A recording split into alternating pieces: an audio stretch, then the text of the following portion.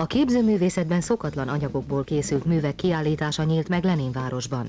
Ez év kora tavaszán a Művészeti Alap fiatal képzőművészeinek stúdiójának 8 tagja felkereste a Tiszai Vegyi Kombinátot, hogy szeretnének megismerkedni a gyárral, és az itt látott és itt gyártott termékeket szeretnék felhasználni művészeti alkotásaikhoz. Idestova 25 éves gyárunkban ez volt az első ilyen jellegű kérés. A lehetőségek felmérése után szocialista szerződés jött létre a stúdió, valamint a Tiszai Vegyi Kombinát gazdasági vezetése és szakszereti bizottsága között, amelyben közösen rögzítettük a célokat.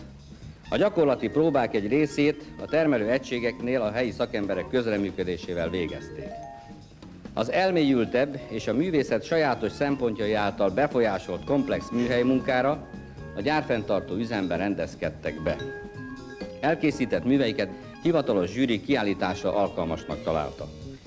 Úgy érzem tárgyilagosan, sőt talán kisé túl szigorúan önkritikával értékelik saját munkájukat és alkotásaiknak a művészetben betöltött szerepét helyét, amikor a katalógusokban leírják, hogy a feltárulkozó végtelen sok lehetőségből hosszabb ideig tartó elmélyült munkával közösségi műveket lehetne létrehozni. Biztosak vagyunk abban, hogy a gyári tapasztalatok, élmények később majd alkotásaikban választható témákban is tükröződnek. A fiatal kísérletezőkedvű képzőművészgárda a kiállítást nem kiforrott művek tárlatának tekinti. Bemutatott műveik a műanyaggal, mint művészi eszközzel való ismerkedés termékei. A térplasztika, a belső téri díszítések egy lehetséges új útját egyengedte a Tiszai Vegyi Kombinát, amikor vállalta a kezdeményezés támogatását.